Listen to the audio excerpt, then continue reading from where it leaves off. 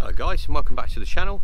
Uh, in this video we're going to be looking at fitting some windows and starting the carpet lining in the bus. She's beginning to look quite nice.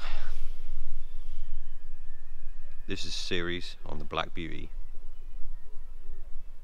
I must add that my um, my youngest uh, has been desperate to help me so she's been doing some of the filming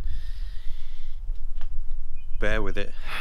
it's a little bit of woo but she, she gets there in the end. She's only five. So let's get started on fitting a window and doing a bit of carpet lining on the Black Beauty. So if you've had your roof done, what you're going to want to do is tidy up the edges first. Um, now I've sprayed my spray glue onto the side here and I'm literally just going to run a blade along the excess part of the canvas that I don't need which is this part. I'm going to cut it all off. So let me just run that down here and up onto there and just shape it round. Okay once we've done that because you're going to want to carpet you're going to want to carpet right up to this edge okay? But we're going to look at the carpet in a mo because we've got to cut out the window. Yay! Right, what we're going to do is using a um, metal circular saw. This one is 57 mil, which is also the same size as the hub mod if you want to do that at some stage. Uh, we're going to cut a hole in each of the corners.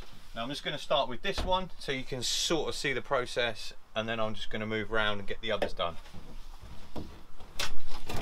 So you want to line it up as close to the corner as you can.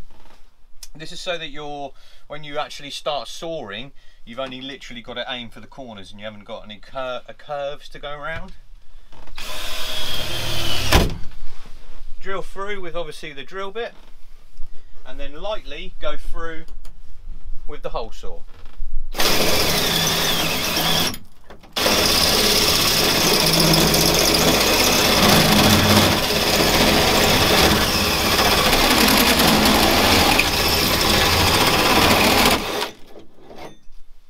and you're going to want to do that on all four corners.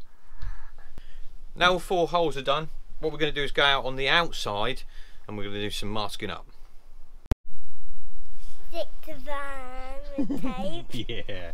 Alright, so we've done the masking up. So what we've done is we've gone from roughly the corner where the holes are, mind your fingers, down, mind your fingers, down to the bottom area and along. Uh, I've put some more tape down here um, so that the uh, metal filings don't just sit on the corner. It's very windy outside today, as you can see.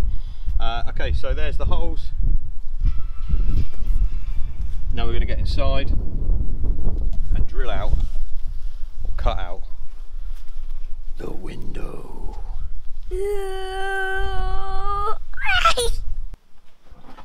This is what I'm going to use for the job.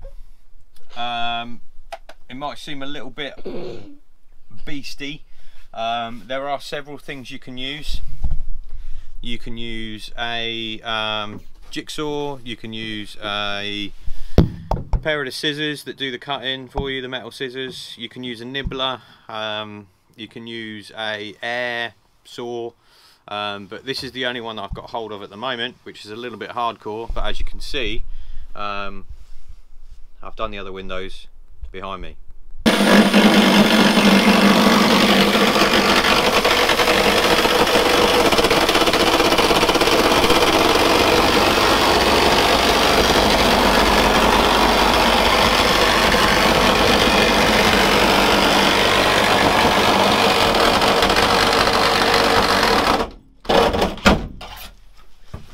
So we've cut both sides. Now I'm going to cut to this section here along the top and to this section here along the bottom.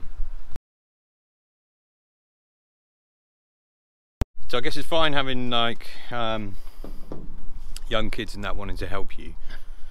In my case, she's just helping filming, she's nowhere near it. Where she keeps going, oh can I help, can I help, can I help?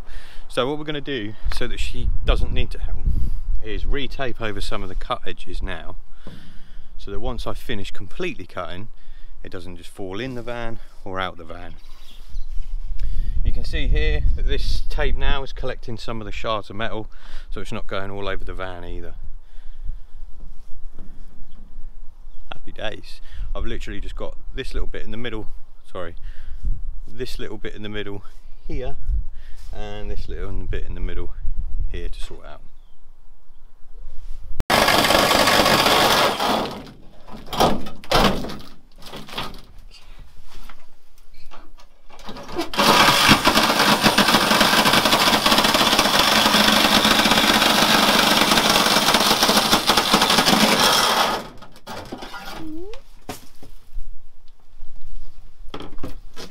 Now it's all cut and because I use the tape I can now remove it inside the van and not risk dropping it outside the van. Edge is all cut all the way around. What you'll notice if you get close right in is all these like little burrs, little fragments of metal. So what we're going to do now is just going to sand them down using a sander or a file or something and just remove those. And then we can get on to carpet lining. So what I've done is I've got my carpet in position and I've held it with a couple of clamps. I've got one at this end and I've got one at that end. You'll notice that the carpet itself is a couple of inches above the um, bracket that goes around the edge that holds the canvas on. That's about a good amount left at the top of wastage. I can't particularly do anything with that. And at the bottom you're going to have another sort of three or four inches. Again I can't particularly do anything with that. What we're going to do is work our way from here to the back and then down. So this is what I would call a more professional car window carpet lining style excuse me. What we're going to do is spray right around the edge, um, about sort of 10, 12 mil on. It doesn't matter if you make a little bit more of a mistake because we're going to be cleaning that up before we place the window in. And then you're going to basically cut a big X in the window carpet area. You're going to trim off the excess, leaving yourself a couple of inches all the way around in the corners you then just got sort of gonna knife the edge but I'll show you that in a second. Oh, I can leave the blade there. And then you're to peel and stick over the top of the window frame that makes sense. Uh, you get a much better finish. It looks a bit smarter on the inside too. So let's crack on and get that bit done. So what you're going to do is you're going to pull the carpet round and over. And then when you get to the corners see just up here, I've cut like a couple of sections in. And I'll just finish this last little bit here. And once you've done that and you're happy with that, you're just going to take a Stanley blade, which I put over here, and without cutting your arm off, you're going to try just tidy that edge up. A little bit there, a little bit there. And again, round the corners and around the top.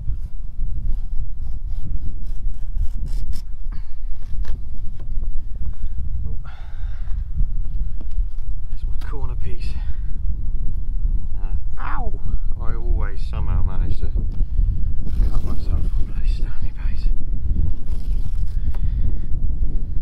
Yeah, you would have if you um, have been following my Instagram, or if you follow my Instagram as well, you would have noticed that I posted about cutting my finger. Uh, yes, I cut my finger quite badly. Uh, I'd say I'd say I nearly cut it off. Um, although I didn't have stitches I had a lot of butterfly stitches kind of just holding it together which is pretty gross. Uh, anyway so I was in and out in a couple of seconds got that sorted uh, and they were like what were you doing? I was like uh nothing. Uh, anyway so now we can get this glue residue cleaned up around the outside give the van a little bit of a wipe down get the glue on and cleaned up get the glue on and then get the window on. When you put the window in itself I suggest you work from the top first okay? And then you ease the window in downwards okay? You can then get the position you're looking for. Once you've done that get your masking tape out masking tape will hold the window in the position you've left it in. It's not physically going to hold the window on.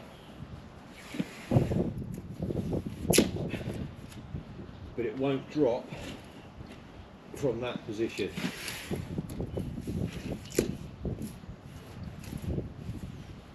Boom.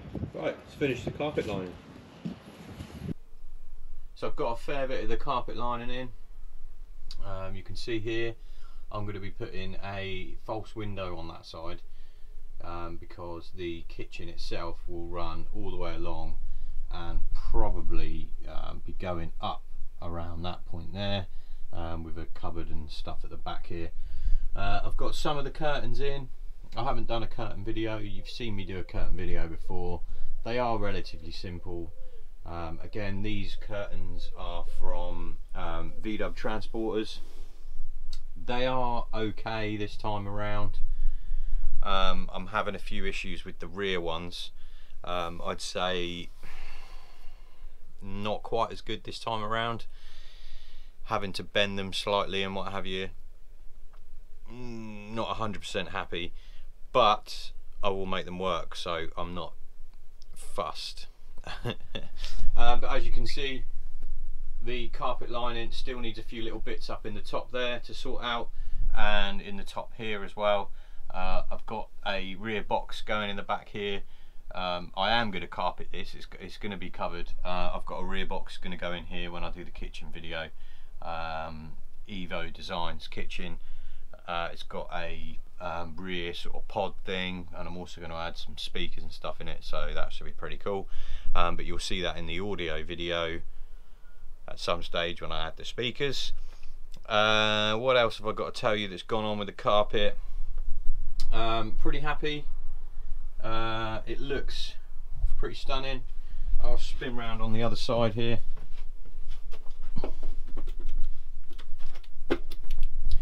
This side is nearly finished. Um, this is the side that I guess you'll see most of. You've got uh, a section here which is going to have a USB and some sort of light for when you're in the bed. I haven't decided on where that's going yet hence why this area here isn't attached.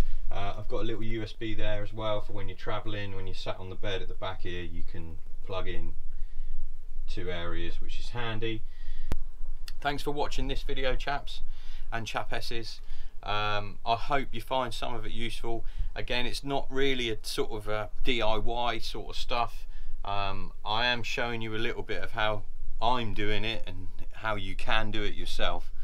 Um, but I'm just wanting to show you how this van's coming together uh, and it's looking really good. So catch us in the next video guys and I will see you all soon. Stay safe